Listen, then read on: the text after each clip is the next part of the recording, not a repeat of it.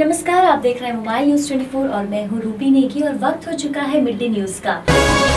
और mid day की सबसे ताज़ा खबर प्रधानमंत्री नरेंद्र मोदी को लेकर आ रही है, जहाँ राजस्थान विधानसभा चुनाव के मद्देनजर प्रधानमंत्री नरेंद्र मोदी आज नमो ऐप के माध्यम से वीडियो कॉन्फ्रेंसिंग के ज़रिए कोटा भाजपा के बूथ कार्यकर्ताओं से चुनाव व योजनाओं को लेकर सीधा संवाद करेंगे। और मिड डे की अगली ताज़ा खबर राम मंदिर मामले को लेकर आ रही है, जहाँ राम मंदिर मामले में बड़ा बयान देते हुए उच्चतम न्यायालय के पूर्व न्यायाधीश जस्ती चलमेश्वर ने कहा कि उच्चतम न्यायालय में मामला लंबित होने के बावजूद सरकार चाहे तो राम मंदिर निर्माण के लिए कानून बना सकती है। आपको बता दें कि न्यायमूर्ति चलमेश्वर ने यह टिप्पणी ऐसे समय में की है, जब अयोध्या में राम मंदिर निर्माण का मार्ग प्रशस्त करने के लिए कानून बनाने की मांग संग कर रहा है।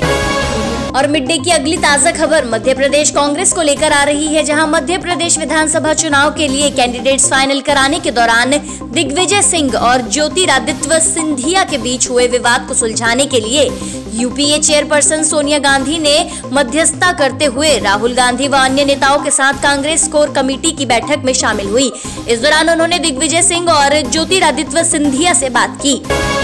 और मिड डे की अगली ताज़ा खबर पीएम नरेंद्र मोदी को लेकर आ रही है, जहाँ 2019 लोकसभा चुनाव के मद्देनजर प्रधानमंत्री नरेंद्र मोदी को लेकर किए गए एक ऑनलाइन सर्वे में दावा किया गया है कि देश और विदेश के तिरसठ प्रतिशत ऐसी ज़्यादा लोग अभी भी पीएम मोदी पर भरोसा करते हैं, जबकि 50 फ़ीसदी लोग मानते हैं की अगर पीएम मोदी दोबारा सत्ता में आते हैं तो इससे भारत को बेहतर भविष्य मिलेगा।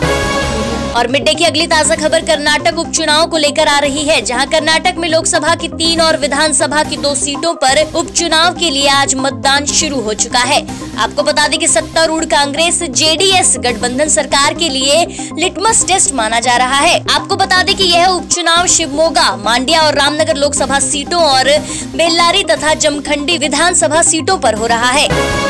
और मिड डे की अगली ताज़ा खबर सर्वोच्च न्यायालय से आ रही है, जहाँ सर्वोच्च न्यायालय में घूमने की चाहत रखने वाले लोगों के लिए सुप्रीम कोर्ट ने अपने दरवाजे खोलते हुए कोर्ट गाइडेड टूर की शुरुआत की है, जिससे कोर्ट घूमने के इच्छुक व्यक्ति, इसके लिए सुप्रीम कोर्ट की वेबसाइट डब्ल्यू के ज़रिए बुकिंग कर सकते हैं। और मिड डे की अगली ताज़ा खबर रिज़र्व बैंक मामले को लेकर आ रही है, जहाँ रिज़र्व बैंक और सरकार में जारी तनातनी के बीच वित्त मंत्रालय के आर्थिक मामलों के सचिव सुभाष चंद्र गर्ग ने आरबीआई के डिप्टी गवर्नर विरल आचार्य के बाज़ार में आक्रोश वाले बयान पर तंज कसते हुए कहा कि इस समय वो वृहद आर्थिक संकेतकों में सुधार है। विनिमय दर भी तिहत्तर रूपए प्रति डॉलर से भी मज़बूत हो गई है।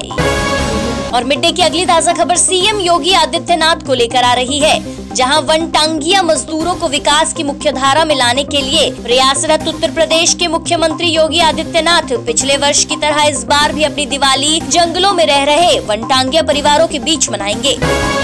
और मिड डे की अगली ताज़ा खबर मीटू मामले को लेकर आ रही है, जहाँ पूर्व केंद्रीय मंत्री एमजे अकबर पर दुर्व्यवहार का आरोप लगाने वाली पत्रकार पल्लवी गगोई ने अकबर पर पलटवार करते हुए कहा, दोनों के बीच कभी सहमति से संबंध नहीं रहा। आपको बता दें कि पूर्व मंत्री एमजे अकबर ने पल्लवी गगोई के आरोपों पर इसे आपसी सहमति से बना संबंध करार दिया था। और मिड डे की अगली ताज़ा खबर पेट्रोल डीजल की कीमतों को लेकर आ रही है, जहाँ पेट्रोल डीजल की मार से जूझ रहे लोगों को आने वाले दिनों में और भी राहत मिल सकती है। दरअसल, अंतर्राष्ट्रीय बाज़ार में कच्चे तेल की कीमतों में लगातार गिरावट जारी है। ऐसे में पिछले 16 दिनों में पेट्रोल डीजल की कीमतों में जारी गिरावट आने वाले दिनों में भी और भी नीचे आ सकती है। तो ये थी मिड डे की ताज़ा खबरें और ऐसे ही ताज़ा खबरों से अपडेट रहने के लिए आप हमारे चैनल को अभी सब्सक्राइब कर लीजिए और सब्सक्राइब बटन के सामने जो नोटिफिकेशन बेल है, उसे भी दबा दीजिए ताकि आप भी रह सकें देश और दुनिया की तमाम खबरों से अपडेट।